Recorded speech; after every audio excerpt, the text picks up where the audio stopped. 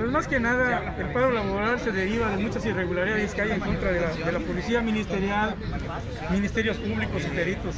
Entonces, Las anomalías, por ejemplo, en nuestro caso como policías de investigación, hay un, hay un,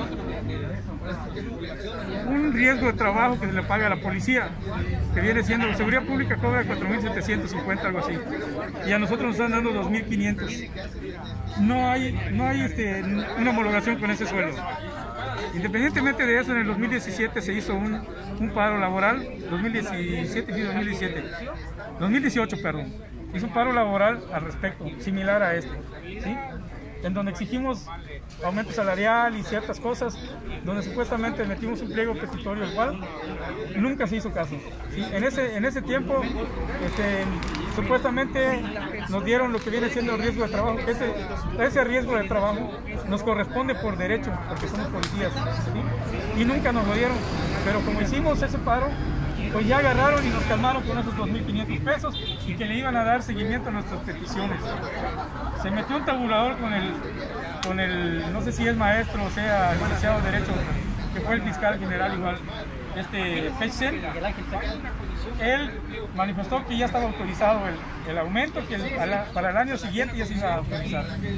Ese aumento supuestamente se sacó un tabulador y que ya estaba autorizado para el 2018. El 2018 no hubo ningún aumento, no hubo nada.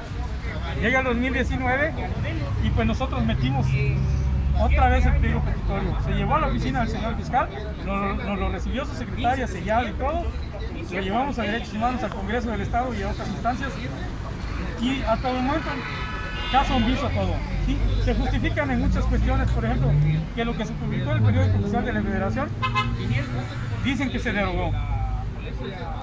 Eso es falso, porque no puede ser posible que el Congreso diga, ¿sabes qué? Antes de, antes de que tú le metes una solicitud, ellos lo estudian. Y una vez que lo estudian, si, si todo está bien, lo admiten. Se admite y si se autoriza, se publica en el periódico oficial de la Federación.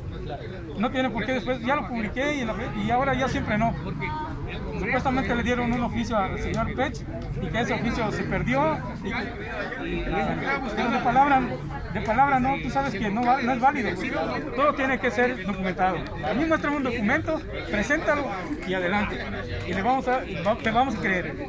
Pero si no me presentas nada, pues no vamos a creer en ti. ¿Hay recursos laboral? Pues la verdad, se- se- nosotros le llamamos discriminación porque el señor fiscal trajo mucha gente de la Ciudad de México, entre ellos ministerios públicos, peritos y agentes de investigación, que hay una, hay una lista grande de, de como de 70 personas, elementos de policía de investigación que están en- supuestamente en inteligencia, que esas, esas, esas personas muchos ni siquiera los conocemos. Creo que hay mucho más, hay muchas carencias de, de personal entre nosotros, entre los grupos. ¿Y cómo es posible que ellos tengan una, una lista tan grande de, de inteligencia? Y ni siquiera sabemos cómo, cómo son, quiénes son, dónde están, dónde están, dónde están, porque ni siquiera los vemos. O sea, tal vez muchos de ellos nomás estén cobrando, pero cobran bien. Creo que el, más, el que cobra menos de ellos son 10 como aproximadamente 17 mil pesos. no sé. Y nosotros cobramos 8 mil 500. O sea, pues no, no es justo lo que está pasando. Entonces, ese es el motivo por el cual estamos haciendo esta manifestación. Eran amigos de Cancún, Chali, Contrapunto Noticias. Escucharon huelga de brazos caídos en la fiscalía. Nosotros hasta la próxima.